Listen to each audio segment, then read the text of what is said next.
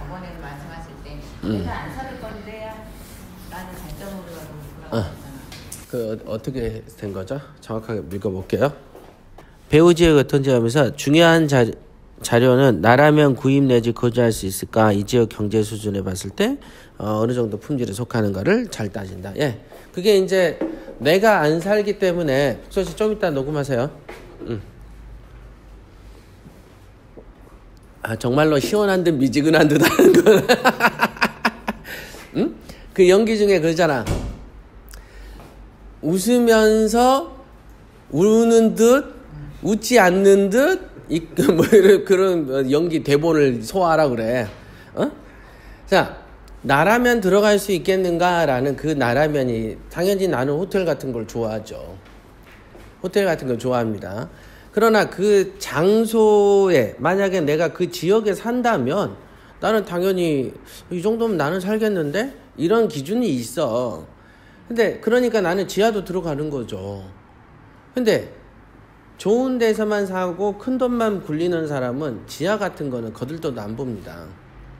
그리고 어 옛날에 그 아까 그 지하철 역장 얘기했잖아. 그 당시 역장도 이수역 역장이었나? 뭐 잘 기억이 안 나는데 어 그 수도권이에요.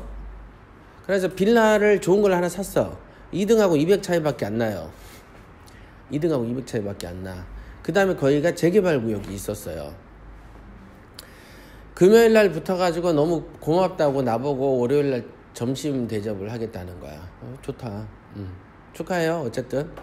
그런데 토요일, 일요일 날 와이프랑 한 번 간 거야. 그러고 나서 월요일 날 와서는 뭐라 하냐면 잔금을 안 치르겠대요. 응?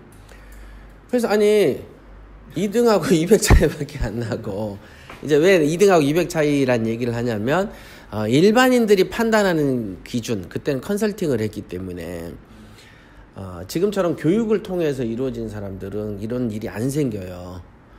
근데 컨설팅을 한 사람들은 통상 2등하고 차이가 나면 거기서 한번 넘어져.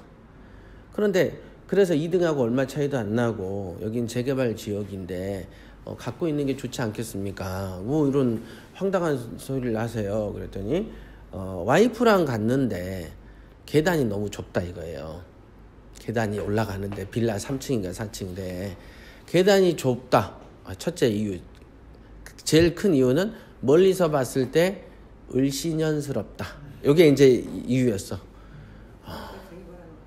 그러니까, 아, 그러니까 싫은 이유 중에 을씨년스럽다라는 얘기가 지금도 딱 있는. 왜 여러분들이 배우는 그 강의에 경매 편견이라는 단어가 존재했는가를 유래를 아시겠죠?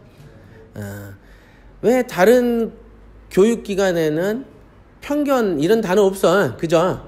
없어요. 근데 왜 있냐? 나는 컨설팅을 많이 하다 보니까 와, 별의별 생각들로 돈을 막는 걸 보고 깜짝깜짝 놀래기 시작했고 그래서 편견이라는 게 나온 거죠. 첫째, 을신연스럽다.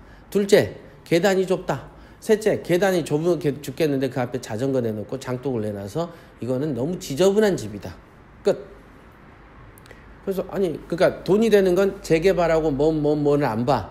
그냥 근데 다 자기가 살 집도 아니야. 근데도 자기가 살 집으로 인식이 돼서 딱 보고 아 나라면 이런 거 안 사 이렇게 된 거야. 오케이? 그러니까 제가 이제 쓴 게 내가 나라면 들어가서 살 수 있겠냐라는 그것을 구절을 쓰고 지역의 분위기와 경제적 상황을 직 봐라.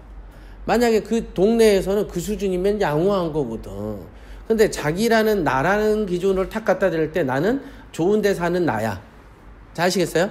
제가 말하는 나라면 살 수 있겠냐, 이거는 최소한의 이 정도면 사람 살 공간 아니야? 이런 걸 의미하는 나라면이라는 걸 보는 거예요. 오케이? 예, 그래서 지역에 맞춘 나, 이게 돼야 되죠. 그래서 여러분들이 부동산을 물건을 이렇게 보다 보면은 전화를 막 해. 그러면은 예, 이동 거기에 그 집은요. 주차도 안 되고요.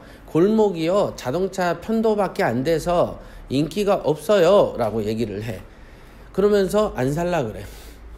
그런데 그 동네에는 그 주차장이 없고 편도인 집이 그 집만 있어요. 여러 개가 더 있어요. 어, 당연히 그 골목 나래비는 전부 다 그렇게 생긴 거지. 근데 전화를 딱 하면 그 멘트를 딱 들으면 아 이 집은 저주받았다가 돼버려. 음. 근데 그 동네에 딱 가보면 다 그래 그냥 다. 그럼 다 그 수준의 사람이 또 와.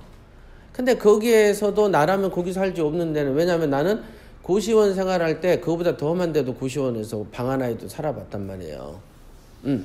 그런 나고 이제 아까 이제 전에 든 약- 역장의 와이프의 나는 나는 잘 살고 깔끔한 동네에 사는 나야. 그래서 그 나라는 기준으로 갖다 대면 다 쓰레기인 거야 그냥 이걸 왜 사? 이렇게 그죠?